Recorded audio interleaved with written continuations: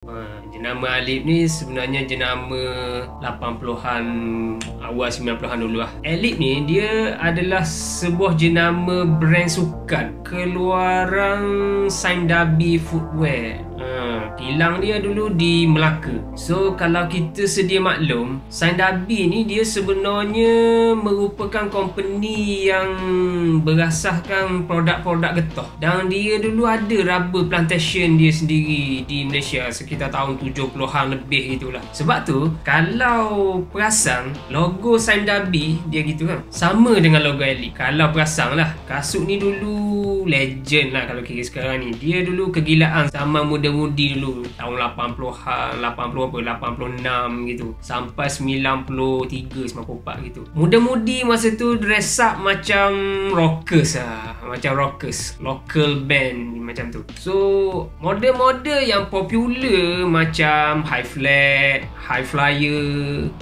trooper, trans casual, atau model high cut search dan ada lagi beberapa model yang saya tak ingat dah. Dia sebenarnya Elite ni dia banyak cedok daripada kasut-kasut jenama Nike. Kasut lokal ni nak compare dengan kasut-kasut yang jenama luar pada masa tu dah tentulah kasut jenama tempatan ni harga dia murah. Kalau Elite ni pada masa mula-mula keluar tu puluh-puluh ringgit macam tu je. So kalau perasan kasut-kasut macam high flat high flyer. Dia sebenarnya dia macam dia copy design L, uh, Nike Vandal. Uh, macam yang high flat tu dia copy design Reebok kalau tak silap. Sebenarnya sasaran syarikat Saindabi tu sebenarnya berjaya lah pada masa tu menambah hati golongan-golongan belia dan especially rocker-rocker tempatan lah. Sebab local artis dan local band sendiri pun macam apa SYJ Bumi Putra Rockers Meh Melissa, Search, banyak lagi lah band-band lain dan ada hati-hati solo macam Sudeman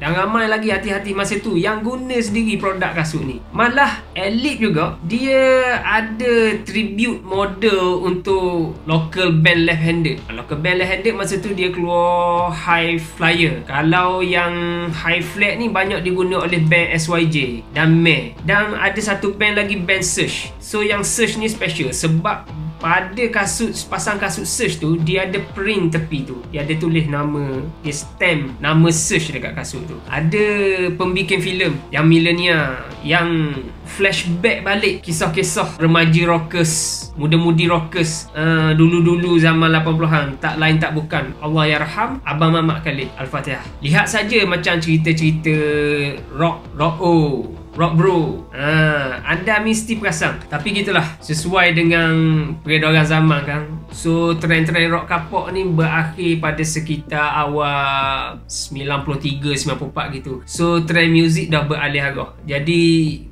Muda-mudi masa tu dah Tak dress up macam rockers lagi dah Dia lebih kepada Macam apa Hip hop gitulah Ataupun lebih kepada Trend-trend yang baru Popularity dah start Going down Dah start turun semua. So orang tak pakai lagi dah ha, Sebab tu sekarang ni golongan-golongan yang masih lagi memburu kasut-kasut tu adalah golongan-golongan kolektor saja. So kalau dulu kasut ni dijual pada harga puluhan ringgit je. So kolektor-kolektor yang tega ni yang mencari ni sanggup membayar dengan harga yang berganda-ganda tingginya. Sebab apa? Sebab benda ni hanyalah tinggal kenangan. So dia macam seolah-olah macam membeli balik kenangan 80-an dulu. Sebab benda kilang pun dah stop production. So apa-apa yang ada tu adalah saki-baki daripada peninggalan 30 tahun yang lalu.